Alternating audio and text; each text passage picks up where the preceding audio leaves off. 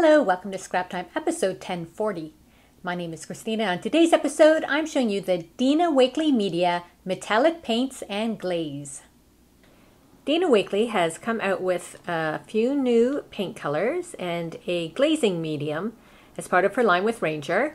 So it's the glazing medium, and then she has penny, gilt, and sterling. She also has these new fine tip applicators that fit directly onto her paint bottles and you unscrew it and it allows you to have uh, make fine tips and drawing and doodles and that with the paint. Then there is this pin here that fits back into it and that is how it keeps the paint from clogging the tips.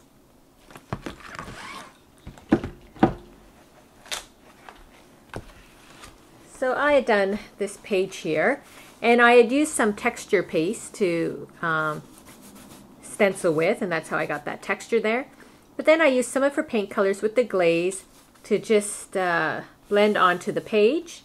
I used her new stencil here with the butterflies, and it is black, and then I stenciled some silver over it, so it has a bit of a sheen. And then I used a fine tip applicator um, just to add the little dots on the butterflies and the little trail. So I'm going to do something similar today.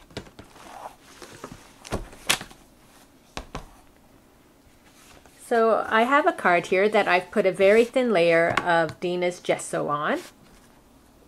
And now I'm going to use the glazing medium with some of her colors. So I have magenta here. So I'm going to put a bit of magenta down. I'm going to put a bit of the blackberry violet.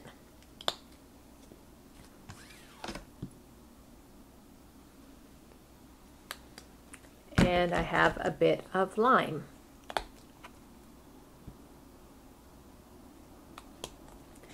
Then I'm going to take the glazing medium and put a bit beside each one. The more medium you add, the thinner the paint will be. And then I will mix it with my palette knife.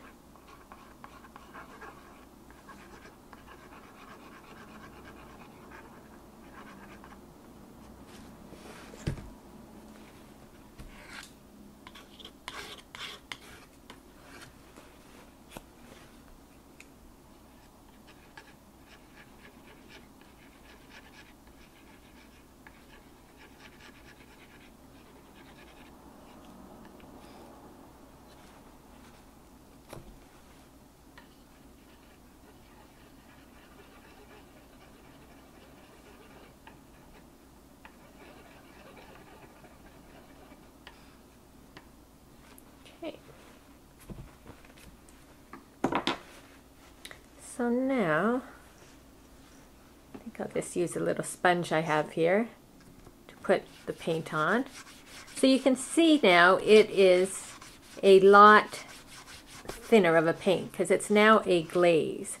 Whereas Dina's paints are heavy body, by adding the glazing medium to it, you now have a thinner paint to work with.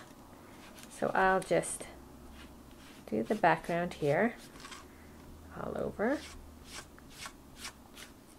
And I'm going to give that a quick dry.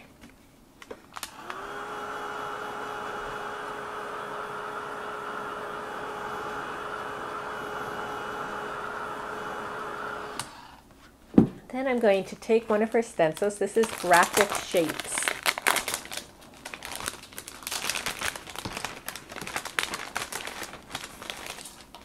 Take a couple stencils and I'm going to take a bit of the purple.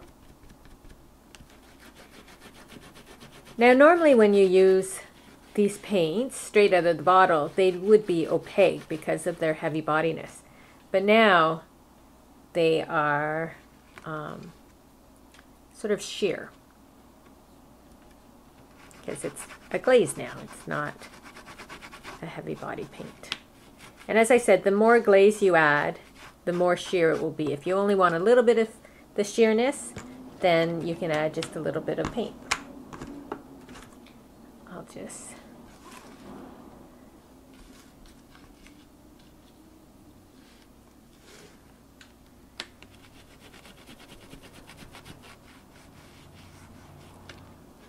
maybe I'll just sort of cover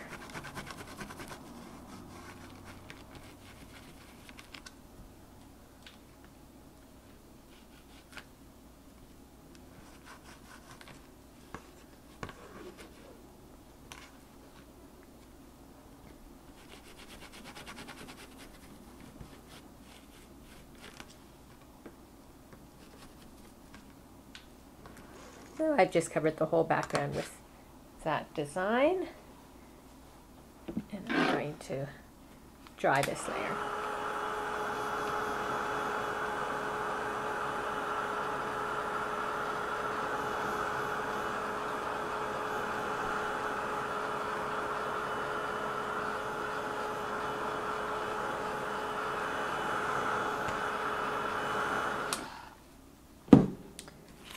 I'm now going to take her insects, it's butterflies and a bee, I think.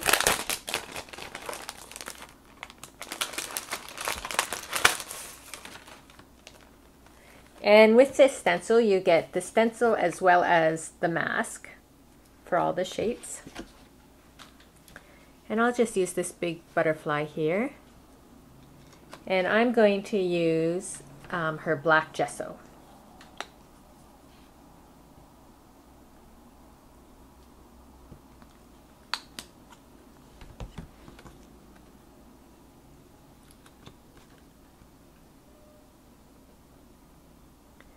Just sort of line it up. Just going to see if it's, can't tell if it's straight or a bit on an angle. Anyway, I'm going to lay it down and I'll just use the same sponge I have been using and dab on that color.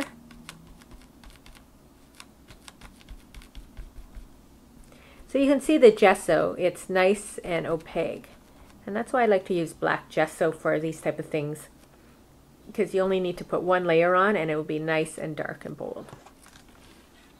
So you can see how beautiful that butterfly is. And now I'm going to dry it.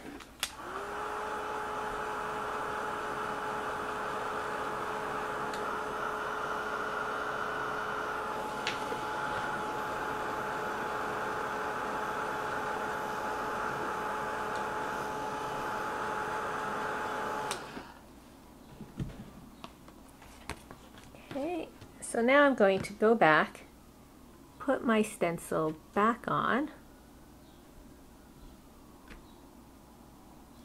and I'm going to take my silver paint. Ooh, that's way too much.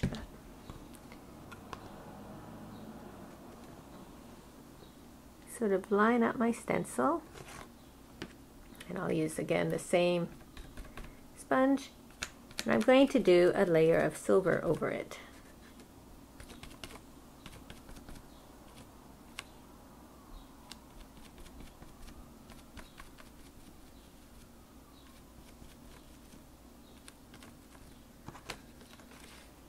And now we have this beautiful sparkly silver butterfly. So I'm going to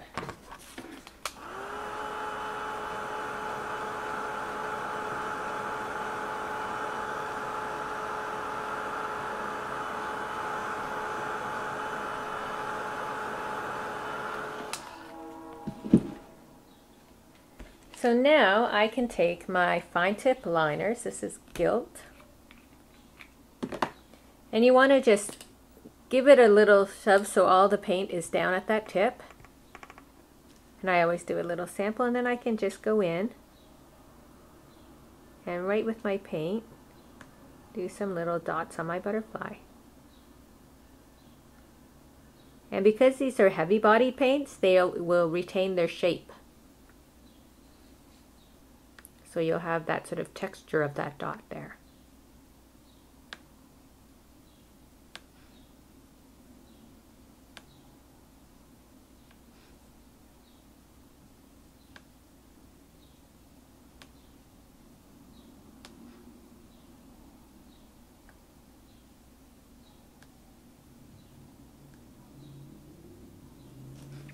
That. To, so again, I've got my little pin And I can just put that pin straight in there to make sure it doesn't clog. And then I'm going to take Penny, give it that little shake, test it, make sure it's coming out. And I'm going to try to write with this.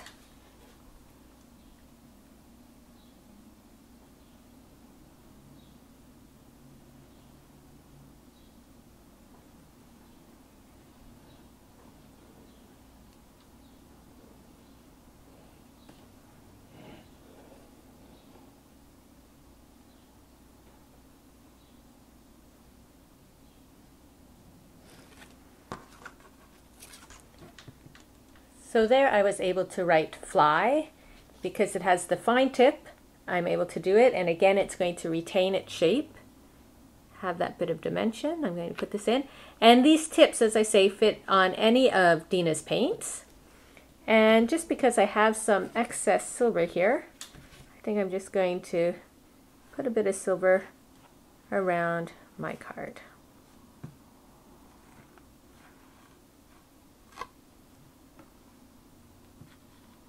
I want to be careful not to hit my words.